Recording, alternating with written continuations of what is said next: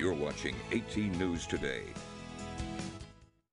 And welcome back to 18 News Today. I'm here with Dale George and Tina Iron. How are the two of you doing this morning? Very good. Very good. Well, you guys have an exciting performance coming up. Tell me a little bit about that. You Well, our performance coming up this weekend is Arsenic and Old Lace. Uh, we'll be performing this weekend and next weekend at the Clemens Center, Mandeville Hall. And how long have the two of you, as well as your cast, obviously, uh, how long has the preparation taken to get ready for this performance? Oh, we had we had auditions back in October, I think it was. So it's been several months we've been working wow. on it. We're in Tech Week right now, so long nights rehearsing, trying to, to fix up every every detail, make it as good a performance as possible. Well, Dale, since we just heard from you, Tina, let's hear a little bit about what Arsenic and Old Lace is actually about. The story centers around the Brewster family. And it's basically a day in the life of the Brewster family, which blows up in everyone's face. Um, I'm one of two aunties, um, Aunt Martha. I have a sister, Abby.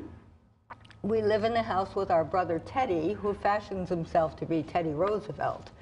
So we are an unusual family in that we we're sort of holding on to old times. We live sort of in an, the Victorian era. Um, we're kind, we're generous, we're caring, we're compassionate, and we have our oddities. Well, I was going to say, are, is the uh, family a little bit rowdy? Because I know Dale over here is Oh. playing Officer O'Hara, and there's got to be a reason that there's an officer in the No, they're, production. they're really sweet, but they have kind of a secret that uh, that nobody knows about, and everybody thinks they're the best people in town, and and so the officers are actually just friends in the neighborhood and, and stop by, and luckily they stop by at some sometimes the appropriate times to to keep it from getting out of hand.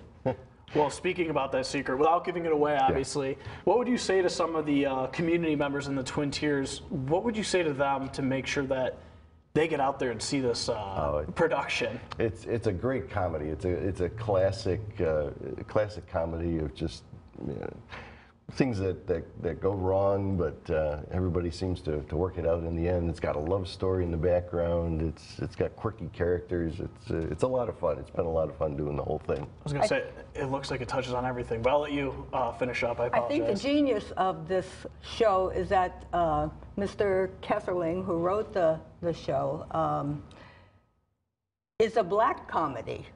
And it could be a very dark material. But uh, he uses lovable characters and laugh a minute actions that uh, just keep people wanting more. That's going to be all the time we have. But Dale and Tina, thank you so much for coming in this morning. We're going to be right back with more news and weather after the break.